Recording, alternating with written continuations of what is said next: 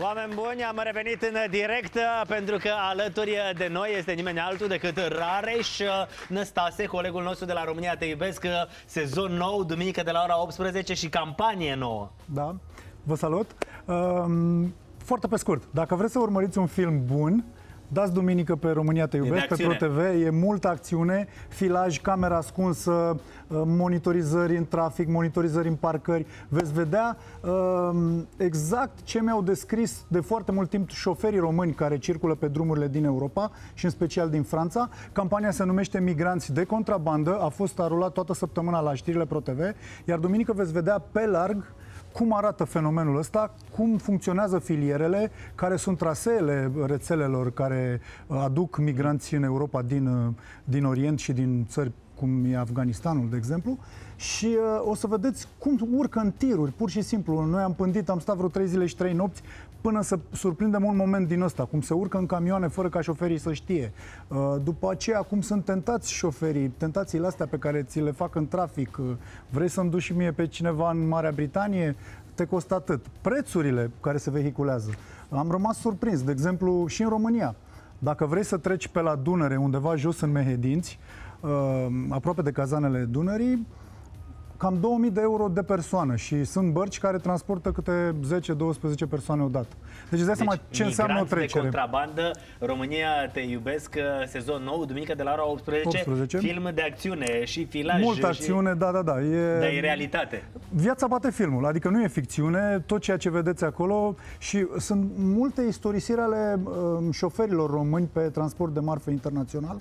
Le mulțumesc foarte mult și celor care au discutat cu mine și celor care mi-au dat filmulețe, pentru că ei pe, te, pe, pe drumurile lor văd foarte multe și, filmează, și prin frontieră, da, și au mai filmat, au mai fotografiat și m-au ajutat foarte mult în reportajul ăsta imaginile lor. Pentru că au surprins niște situații halucinante, să vezi cum aleargă, e un joc de cele și pisica. Și noi am surprins în afara portului, dar să vezi în portul din Dunkirk și din Calais cum îi aleargă polițiștii pe acolo printre camioane, e un pic amuzant, dar treaba e foarte serioasă și uh, foarte important, ne afectează pe noi toți, uh, ne vizează România, românii, vezi, avem șoferi acolo, avem uh, din păcate și românii arestați care sunt prin penitenciare pentru că au căzut pradă tentației, vorbim da. de bani mulți.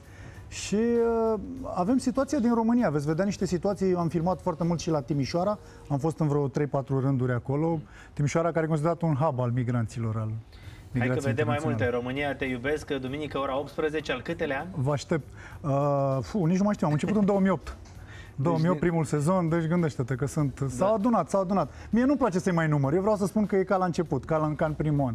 Pentru că avem aceeași energie și venim cu niște anchete foarte faine și vă așteptăm duminică de duminică. Sperăm, da, anchetele astea știi cum e să ducă și la niște rezultate și să schimbe lucrurile. Unele au, nu Pentru toate. că mă uit la anchetele pe care le-ați făcut de-a lungul timpului legat uh, de defrișările de păduri, de uh, tăierile ilegale de păduri și mă uit acum în ziarele din ziua de astăzi unde se continuă aceleași lucruri și unde la fel oameni, jurnaliști fost bătuți. A fost agresiune, da, da, da. Veți da, vedea exact. probabil în seara asta la știrile de la ora 19, la știrile ProTV, o să vedeți și cazul de azi noapte. Am și mi-am aminte că și voi la România da, da, te da. iubesc da. acum câțiva ani, la fel erați alergați și uh, amenințați. Uh... Se întâmplă, lucrurile din păcate se întâmplă, sunt fenomene care sunt foarte greu de oprit. Uite, imaginile astea, la un moment dat, băieții ăștia vor cu orice preț să urce în camioane, pur și simplu blochează traficul, aruncă, sparg parbrizul la camion, aruncă cu tot felul de obiecte. Pare irel, sunt da. Mulți, sunt, da, da, da. E de o bătălie. Asta Astea sunt în 2021 bătăliile de la Calais și Dunkirk.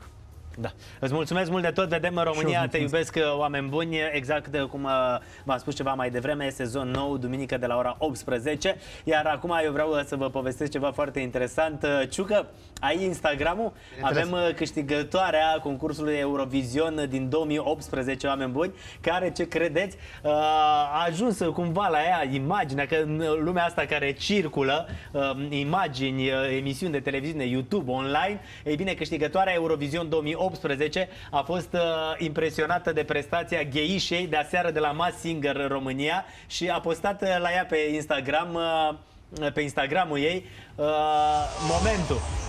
Ia uite. Da, mi se pare foarte tare asta. Deci Brenciu, Horia Brenciu, era o poză, era în imagine la început, a ajuns uh, internațional Horia, ai văzut?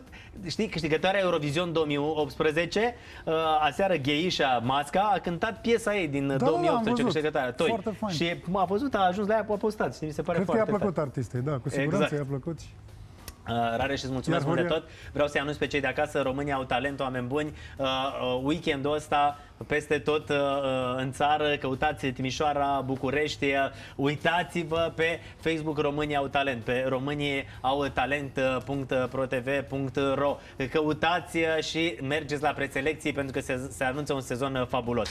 Eu vă mulțumesc mult că ați fost alături de noi toată săptămâna și vă așteptăm uh, luni uh, de la ora 3 până atunci pe TikTok. Tu ești pe TikTok? Timid, Un puțin pic. la început, Eu mă da. aștept pe TikTok, Cătălin Măruță, sunt uh, cu bifa acolo, mai pune momente din emisiune și o să vă placă ce vedeți. Weekend plăcut, să aveți numai bine! You give me freedom.